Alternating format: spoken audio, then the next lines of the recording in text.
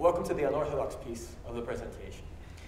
So this, battery, this computer here has a battery which will not last 10 minutes. Probably doesn't, doesn't last five minutes. But the funny thing is, I'm used to it. I, it doesn't bother me anymore. When I go places, I know that I have to, to plug it in, and that's okay. And this is sort of why computing is such a safe career. People that are here, they have no, they don't understand that in reality, what, we what we rely on today is already dead. It's already old hat. And so everybody who's in computing can always be sure that if you stay nimble, you'll have something interesting to work on in the future. So we love to ignore this. You know, that we, we think that we're, we're using the established technologies, we're, we're on the established platforms, but in reality, you know, all of us are using Intel-based laptops that, whose batteries will not last more than five hours. And David just thrown, thrown down the gauntlet and said that if you have a computing device that's mobile, it's ridiculous for it to last anything less than 10 hours. So, but we're happily using those. So we're basically here, you know, uh, exemplifying the establishment. People that use computers today, that's what they expected. But anyway, computing platforms do move on, and newcomers, you know, the, these um, teenagers, they happily send them to their graves. So before we were born, and when uh, you know Paul McKenney and and David Rusling were, were busy writing code, um, the PDP-11 was the state of the art. And when we went into the 1980s, this was the state of the art in technology, right? This stuff ran Linux. Sorry, ran Unix. Um, this, this, is, this is, a, this is a, a key Unix platform, PDP-11. So what happened to the PDP-11, you know? Who remembers that? This is the computer that I started programming on. It's an Apple II. Um, it's a ridiculous platform. It was super flaky. Um, it, the first one that I got was from my, my parents, um, 1985 Christmas, and they plugged in the, the disk drive um, connector the wrong way around, and it killed the motherboard. But this, so this was like super flaky. Nobody would, would touch this stuff. All the guys that were busy in, you know, Paul McKenney's lab saying, these, these computers, they'll, they'll never be anything. Well, you know, uh, 10 years later, they were using these computers themselves and saying, damn, this stuff is great. It's great having a computer which I can use for myself. So 2010's cutting edge te computer technology sort of looks like this, if you look at it from the, from the conservative's perspective. But in reality, this is what's happening to it. So I want to start out by apologizing here and saying that, you know, when I started out on this, on this Linaro thing, I was a bit short-sighted because I didn't really understand a lot about what, what, what, changes were happening in computing platforms. And I thought, you know, I, I was doing this 10-minute battery thing. You know, I thought that the establishment was the future. So we started out worrying about unified kernel source trees. So David, David and I, we had this meeting and we said, you know, we have this big problem. All the vendors, they're shipping their own kernel sources. And I'm like, man, this, this is the problem that we, we need to solve. How are we going to do that? And so we've basically thought for a year and a half about how to solve that problem. You know, we have to solve this unified kernel source trees. How do we put how do we work on that? Do we put them all together? You know, do we forget about upstreaming and, and, and produce these baseline branches every once in a while and so on? And while we were worried about that, reality happened. The truth is that ARM will be the new mainstream.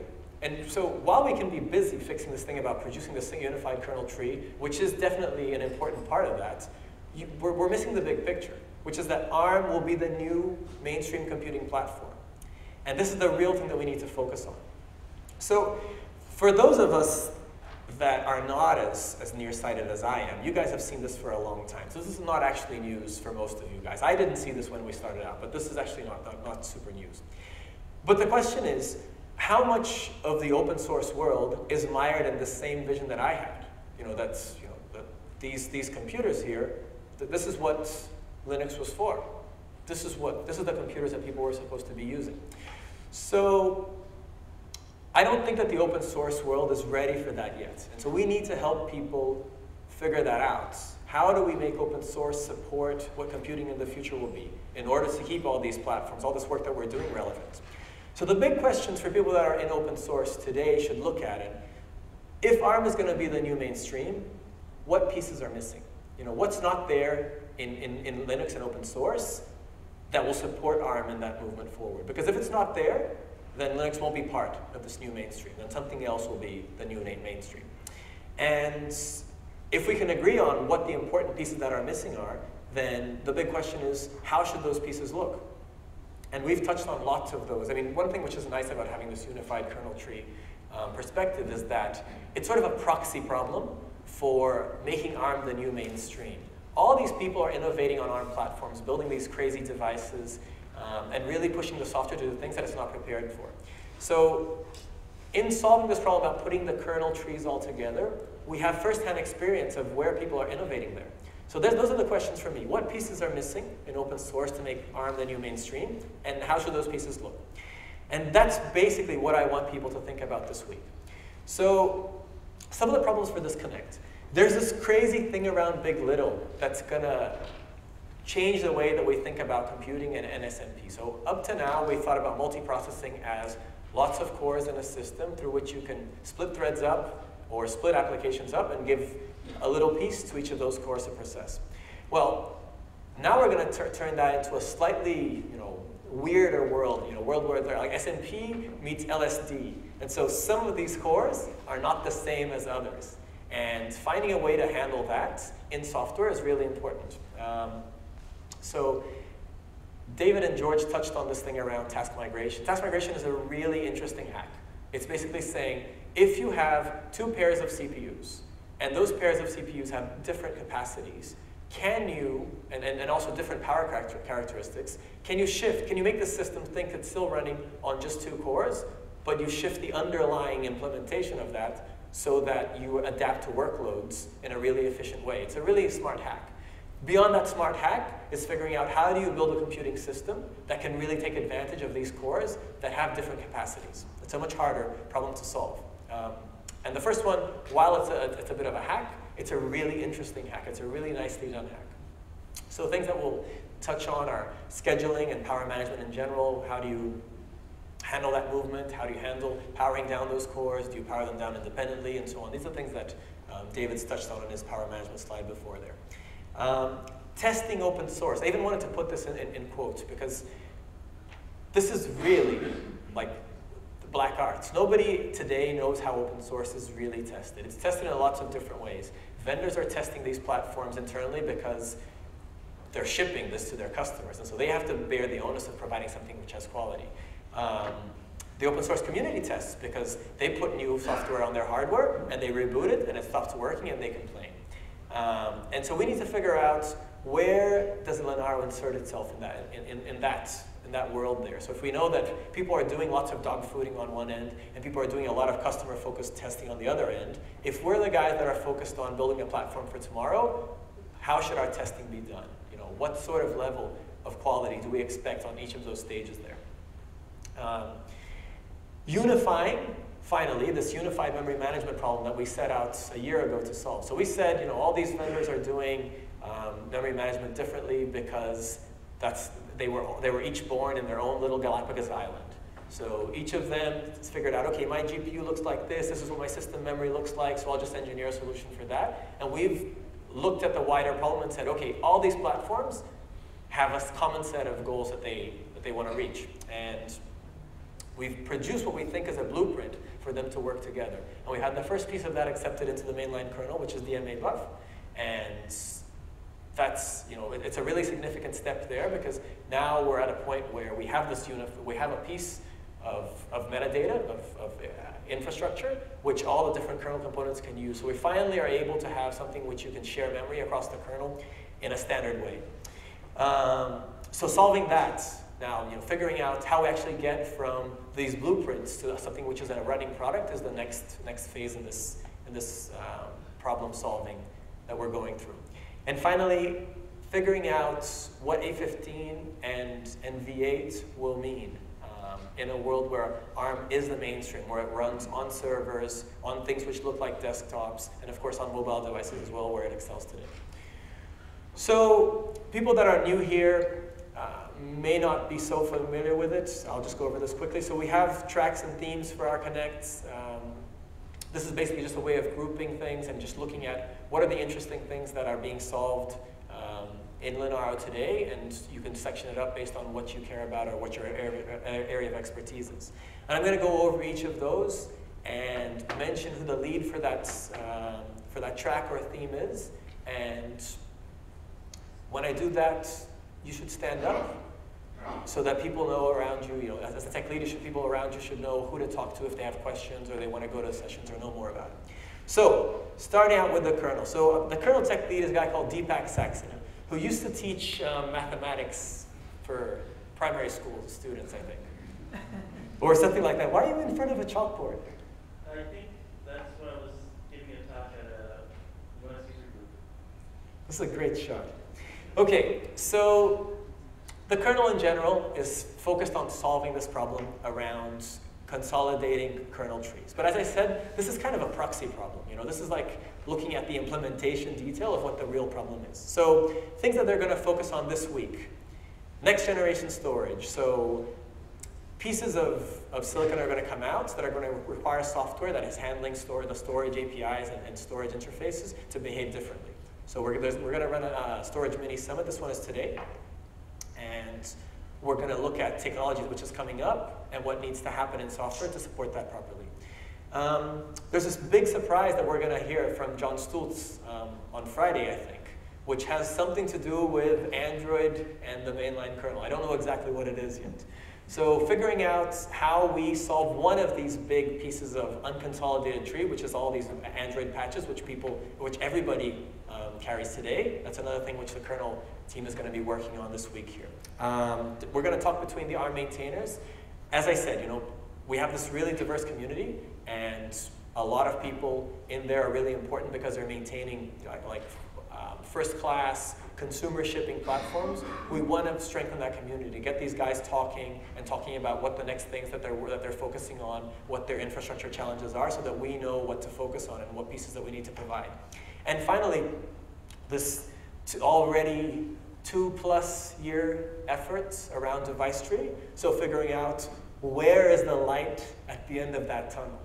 So we're, we're not, we don't know where that light is yet, but we need to figure that out here. And I'd like to do that this week. I'd like to come out of this week saying exactly where the light is so that we can all chase after it. Okay, toolchain. This is Michael Hope, a guy whose surname is Hope. You should never underestimate. So Michael's always very understated about what he wants to do. Um, his focus is to improve GCC performance and now to tackle this new thing, KVM, um, which is going to be really important as we move into the server space and QEMU because those two things also converge and we've done a lot of work in the past there. And also development benchmarking. So, this guy here, no one's seen this one. You bastard. Okay. So this guy used to be the manager for the Patriots up to this weekend. Okay, so Jesse's um, very bravely actually, well, I guess that would be braver than taking on Patriots management, wouldn't it? Um, has taken on sol solving this memory management mess. And so when, when we ran these sessions for the first time, I'd go in there and my brain would bleed out of my ears after like 15 minutes because people were talking about things which I'd never heard of in computing and I, I I have no ambition of actually understanding by the time I'm, I'm David's age and through with computing. so, work with me, come on. Okay, so things that we want to sort out this week around memory management is what the display and video APIs that are using DMA buff actually look like. So how are we going to use this thing in the kernel? We have this great abstraction, nobody actually uses it for anything. So now we have to figure out how those interact. We sort of think we know how that works, but actually designing that is what I'd like to see us progress towards this week. And one area which is interesting to me in particular, GPU testing and, and introspection. When we started out, I said, why is there no GPU top? Why do we have a top for the CPUs? But the GPU is so important in the system, and you know, NVIDIA and Imagination and Vivante would like us to think that GPU is really important. Why is there no tool which shows us what the GPU is doing? That's such a such a glaring omission there in terms of tools. So figuring out what activity is happening on the system, and, I, and I, it is a hard, it's a harder problem to look at than CPUs from, from some angles. So visualizing activity there and figuring out how to do that across multiple platforms where you have these binary blobs involved. Um, multimedia. So one thing which um, Tom Gall, who once was mayor of a small town, and that's not a lie, True story, isn't it? True story. Okay, so we've asked them to uh, lend the mayor into solving one of the bigger problems around um, Linux on ARM. And Zach will tell you about how big a problem multimedia actually is. But this connect here, we're going to talk about audio enablement for real now. So up to now, uh, Tom's going to is going to shame all the vendors in saying that all these platforms that we've shipped up to now have shipped basically with broken audio since Linaro has started. And so Tom's going to look at, among other things in multimedia, how we change that situation, how we turn that situation around. And in particular, how we enable advanced features, which today the SOCs provide.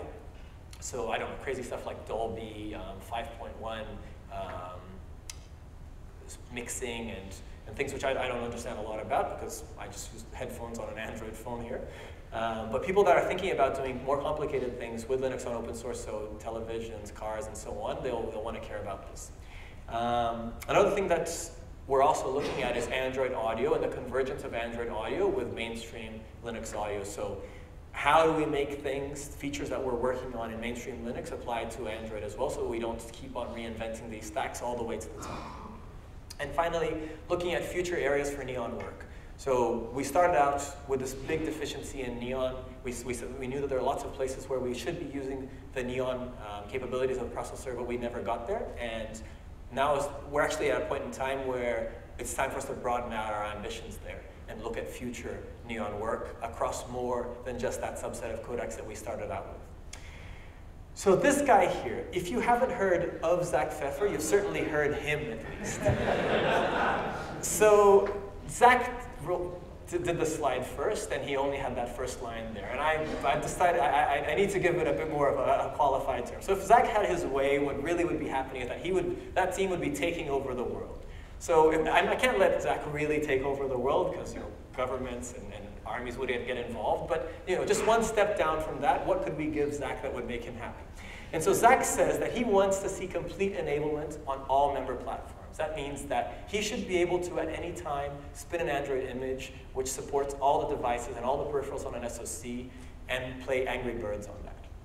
So in order to achieve that, he's going to look at multimedia integration challenges, which are really the hard problem. Once you get past basic kernel enablement, the real hard problem in Android is how do you, you know, tie together all these different pieces of the SoC and make that actually work.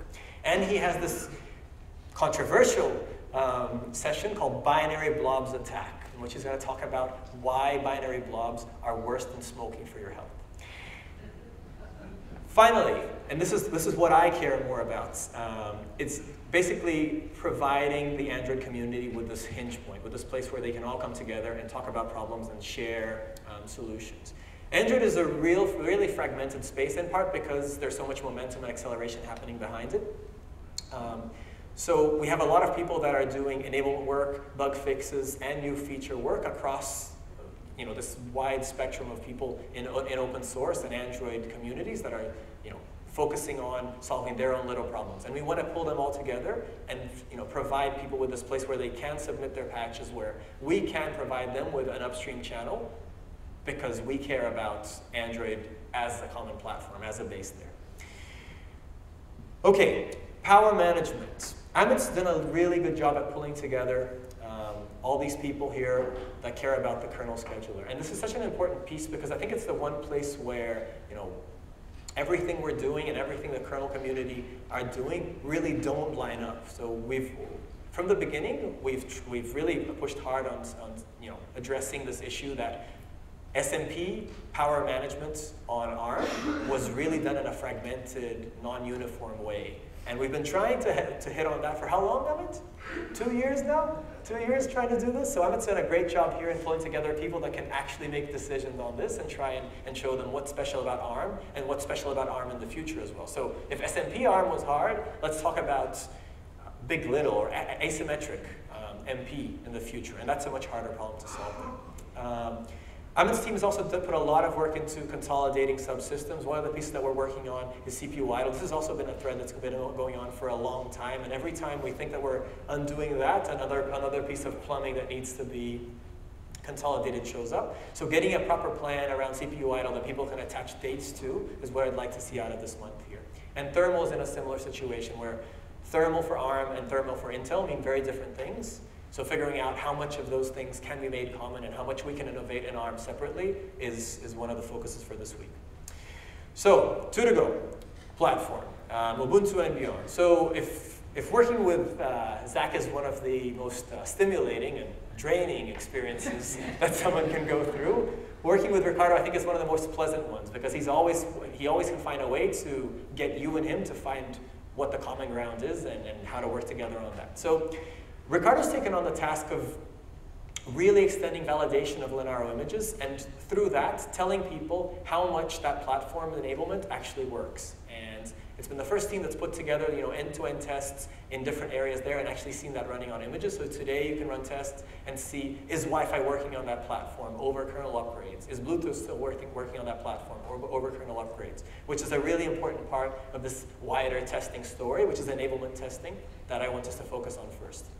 Um, Michael hopes from the toolchain team has done all this homebrew stuff in his cupboard in New Zealand. We would like to move that into a system which is more reliable and which people can actually deploy their, themselves and see how the toolchain benchmarking and, and um, validation is done so that you can reproduce those um, tests yourself. And so Ricardo's also working on figuring out how to make that thing into a real product that people can use inside Linaro but also deploy independently.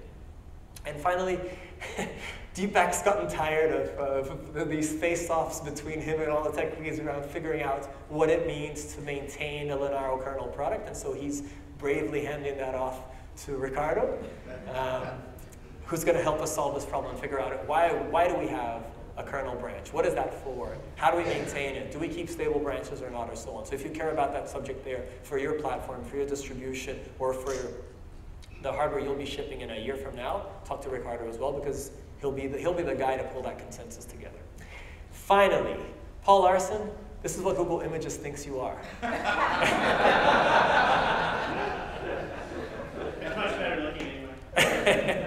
so guys, good, good uh, Christmas gift for Paul, a camera.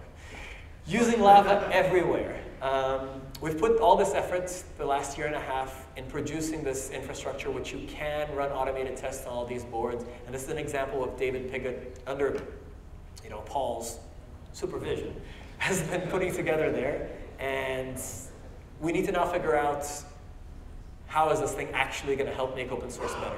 So using Lava everywhere, um, and making it easy to use, which are basically, I think, two convergent goals there. We really want to make it so that everybody in all the working groups finds it a no-brainer to add a test for this thing that they're working on at the moment. And today, that's not the situation, but it's easy. We're at the point now where it's easy to provide that if we focus on that specific problem there.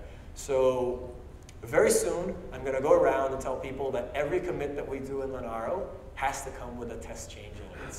So if, we, if when I do that, you're going to have a heart attack. So think about that heart attack in the future and how, how, how tough that's going to be to handle with family and friends, and work backwards. What could lava provide me that would avoid me having this medical situation in a year's time? Okay, that's it. So enjoy Connect. I want you all to feel really welcome. Um, this Connect, I think, is special because we really do work together on things. We really are interested in open participation. Even if you're dialing in through this crazy this idea that Stephen has about remote participation that's giving him like the heebie-jeebies. Um, even if you are connecting through Hangouts, do, do provide input. Do say, I don't agree with that. This doesn't work in my case here because this is really meant to be an open forum and we do welcome that participation there. Make the most out of this opportunity. Don't do what the Patriots did this weekend. You know, Seize this, this week here address the technical challenge that we put out, um, build consensus where it's missing. There's a lot of places where we don't agree on things. Um, we should agree on things more at the end of this week than when we got into, and welcome each other into the community. Thanks very much, guys. Thanks for coming.